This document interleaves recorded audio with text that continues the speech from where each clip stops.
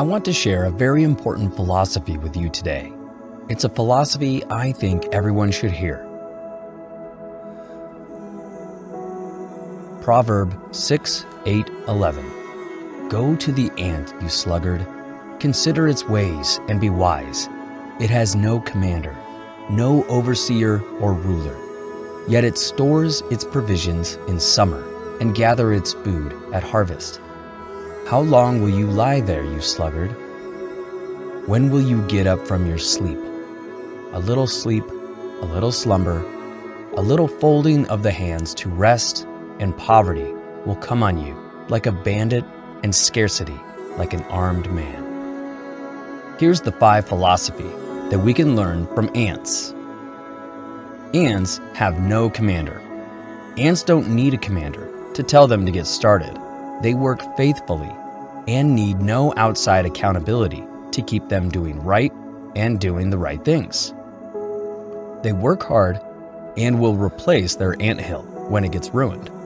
Meaning, if you want to apply this in your real life, be proactive, be honest to yourself, and be industrious.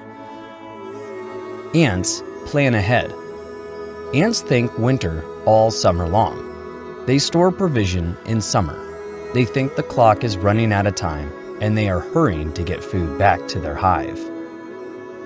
Meaning, they hustle hard in advance to secure their future.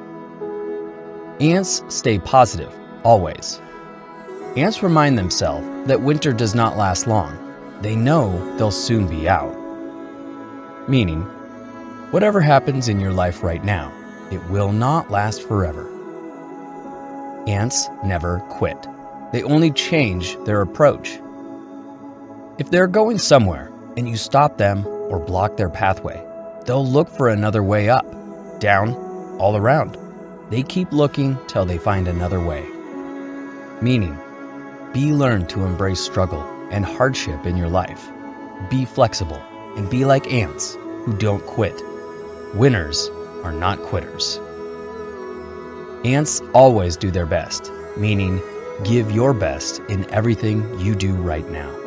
It will always lead you to the greater things and the next level in your life. Thanks for watching this video. Share and subscribe for more amazing inspiration.